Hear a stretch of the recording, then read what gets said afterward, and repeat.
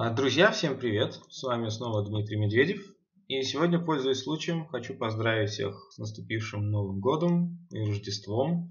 Желать вам всяческих успехов, удачи, здоровья и благ в Новом году.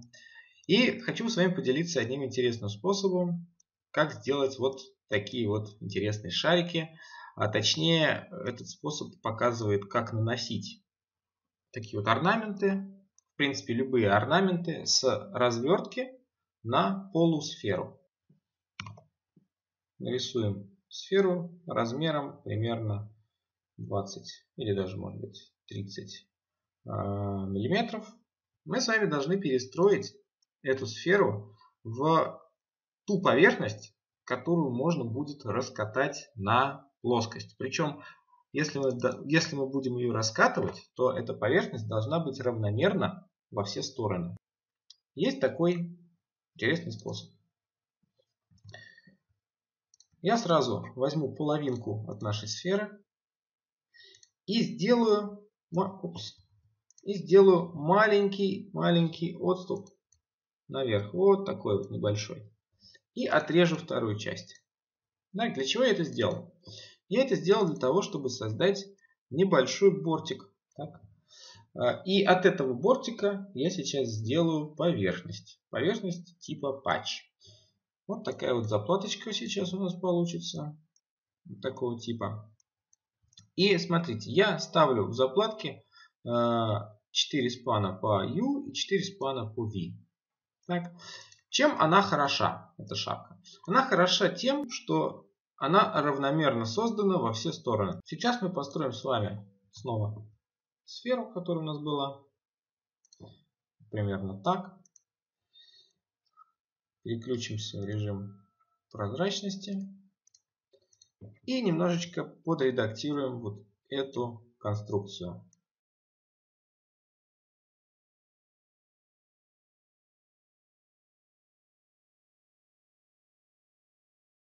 Ну, пусть будет так. Давайте так оставим. Сферу выкину. Вот у нас такая вот полусфера получилась.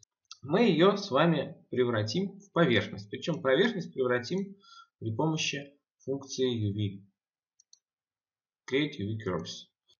И теперь внутри вот этой, э, вот этой развертки, которая пока что представляет собой только кривые, я нарисую тот самый орнамент, который мне нужен.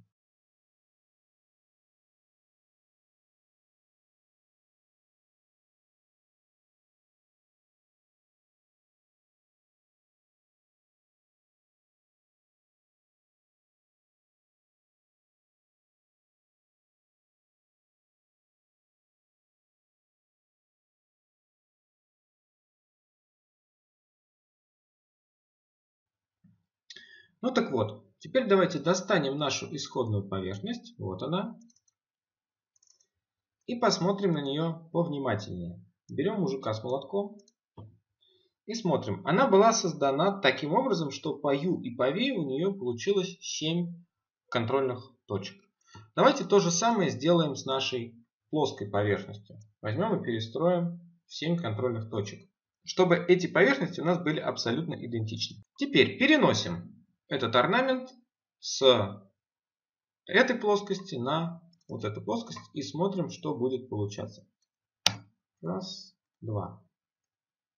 Вот, получается вот такой вот рисунок. Вполне неплохой. Но если он нас не устраивает, мы можем подредактировать его. Каким образом?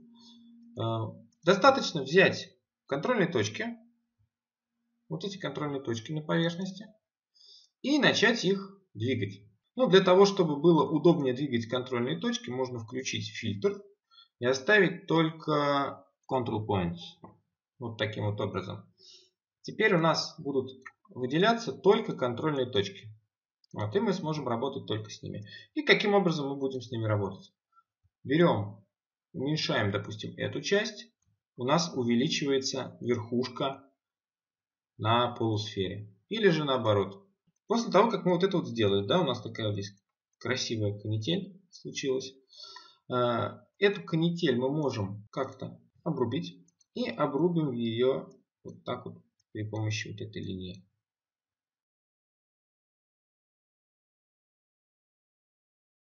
Нам уже не нужна будет вот эта плоскость, с которой мы работали. Я ее спрячу.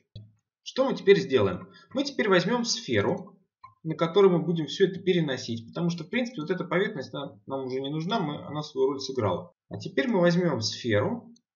Таким образом, э, нарисуем сферу, чтобы нижняя часть, куда я ее рисую, она оказалась внизу. И вот так вот подставим сюда. Таким образом, у меня получится шов в нижней части. Ну, так будет удобнее. И теперь всю эту конструкцию я просто функцией pull перетаскиваю на сферу. Она у меня вот так вот подтягивается аккуратненько. Теперь у нас будет стоять следующая задачка. Э, у каждой кривой сделать отступ по поверхности вовнутрь. Указываю базовую поверхность и делаем отступ, ну, к примеру, 0,3 мм. И так далее со всеми с ними провести вот такую вот операцию. Ну, если э, нам лень, а нам лень, то можно воспользоваться чудесной программкой Grasshopper, бесплатно установить ее и э, сделать небольшой алгоритм. Он очень простой, и он можно будет повторить. Мы берем группу кривых и группу поверхностей. Поверхность у нас шарик. Шарик приделываем сюда. Uh, set one surface. Берем кривые, все кривые, вот так вот их выделяем. И сюда. Set multiple curves. У нас есть кривые, есть поверхность. Находим э, в кривых функцию offset. Задаем расстояние 0, э, 0,3 отступ сюда, кривые сюда, поверхность сюда. Отлично, получился, а, то есть получились отступы вовнутрь, то, что нам и нужно было. Мы достигли нашего результата. Теперь берем правый клик, Bake, запекаем, давайте на какой-нибудь, ну просто запекаем, а, ставим группировку, группировку, чтобы сгруппировать все наши объекты. Так. И вот у нас получилась группа кривых. Так. Все. Гороскопер нам больше не нужен. Сворачиваем его. И во фронтальном виде, рисуя палочку, так вот, э, отрезаем от поверхности необходимую нам часть. Ну вот, чуть-чуть выше экватора, чтобы не захватывать вот эти полюса, мы отрежем от, от шарика вот этот кусок. И используя функцию split, разделим нашу поверхность. Так. Все, теперь мне уже больше ничего из этого не нужно, кроме одной только вот этой поверхности, которая у меня осталась. Вот. Я ей сейчас придам толщину.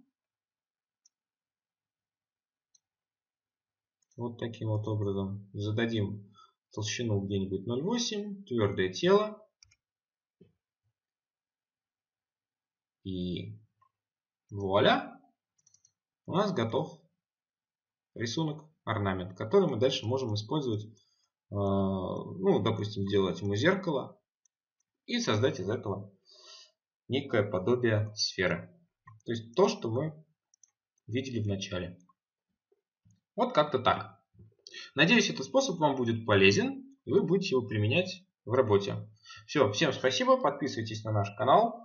Ставьте лайки. До встречи на занятиях. Всем пока.